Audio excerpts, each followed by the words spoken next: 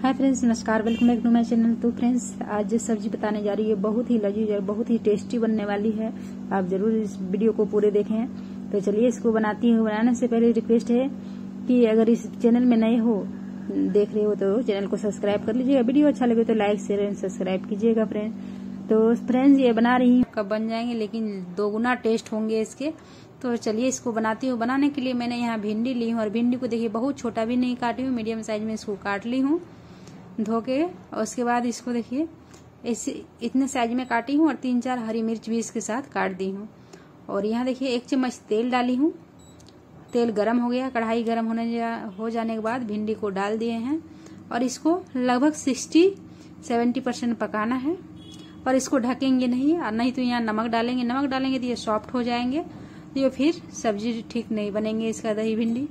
इसको कड़क रहना चाहिए। उसके लिए मैं यहाँ तेज आँच में ही इसको फ्राई कर रही हूँ। इसको तीन से चार मिनट ही ऐसे ही मैं इसको फ्राई की यहाँ। और देखिए, इसको निकाल ली हूँ। चलिए, यहाँ दो मिनट से तीन मिनट लगा ये। सिक्सटी परसेंट, सेवेंटी परसेंट ये पक गया है। इसको ढक देते तो ये सॉफ्ट हो जाता, लेकिन नहीं ढके। और यहाँ देखिए, मैंने यहाँ दो प्याज ली हूँ, मीडियम साइज़ का। और उसको देखिए, ऐसे ही निकाल दी हूँ अलग अलग उसके निकाल, छिलके निकालने के बाद।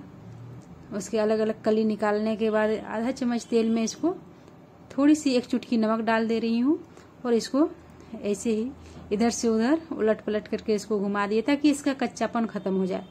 इसमें कच्चापन रहेंगे तो जब भी मैं इसे सब्ज़ी में डालूँ तो इसे टेस्ट अच्छा नहीं आएगा, कच्चापन नहीं आएगा। ऐसे मैं पका दी हूँ, बहुत ज़्यादा पकाई भी नहीं हूँ। इसको भी एक मिनट के लिए ही ऐसे कढ़ाई में इसको फ्राई की हूँ। अब ये न कच्चा है, नहीं तो सॉफ्ट हुआ है। बहुत ही अच्छा बना एकदम कड़क। और ये इसको भी मैं तेज आँच में ही फ्राई की हूँ। अब यहाँ फिर से मैंने एक से डेढ़ चम्मच तेल डाली हूँ और यहाँ एक प्याज ली हूँ। प्याज को एकदम चॉप काट ले या तो पीस लें। मैं यहाँ बहुत चॉप काट ली हूँ। इसको पीस लें तो बहुत अच्छा रहेंगे। तो देखिए मैंने यहाँ प्याज को भूग रही हूँ। अब प्याज बहुत अच्छे से भुगा जाएँगे। उसके बाद इसमें टमाटर डालना है। तो चलिए टमाटर डालने से पहले यहाँ मसाले तैयार कर लेती हूँ। मसाले में देखिए मैंने यहाँ आधा कटोरी दही ली हूँ, लगभग एक कप दही ली हूँ, और इस दही में मैं सारे मसाले इसी में डाल दूँगी यहाँ, क्योंकि इसी में सारे मसाले डाल रही हूँ। देखिए, यहाँ नमक डाल रही हूँ।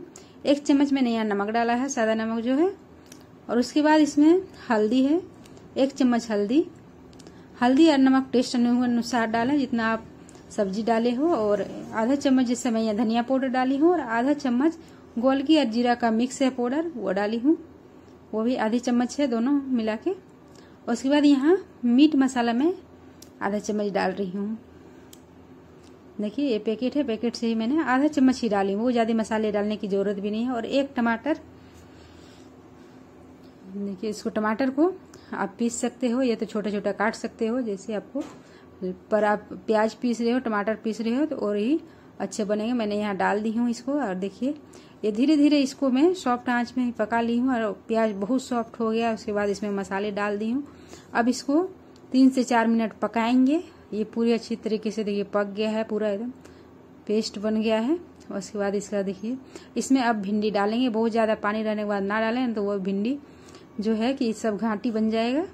तो देखिए, यहाँ भिंडी अब डाल दी हूँ। इसके एक मिनट के लिए पकाएँगे ताकि इसमें नमक अंदर चल जाए, नमक मसाले। उतने ही इसको, इसमें ग्रेवी रखें। और देखिए ये पक गया है। और एक से दो उबाल इसमें आने देते हैं। उसके बाद इसमें मैंने यहाँ जो प्याज बनाई थी, फ्राई करके रखी थी, उस प्याज को डाल दूँगी। देखिए, मसाले में ये एब्जॉर्ब कर लिए हैं भिंडी मसाले। अब इसमें जो प्याज बनाई थी, उसको डाल देते हैं। ये एक से दो मिनट इसको पकाना है। बहुत ज़्यादा पकाने के बाद क्या होगा कि ये सॉफ्ट बहुत ज़्यादा हो जाएँगे। मैंने यहाँ कसूरी मेथी, ये तो धनिया डाल दें। इसका भी टेस्ट बहुत अच्छा रेस्टोरेंट स्टाइल का टेस्ट आएँगे। कसूरी मेथी डाल दी हूँ। उसके बाद इसके ऊपर से जो प्याज फ्राई करके रखी थी, उसको डाल दी हूँ। और प्याज डालने के बाद देखिए, ये सब्ज़ी तैयार है। दही भिंडी लाजवाब बने हैं, ज़रूर बनाइए।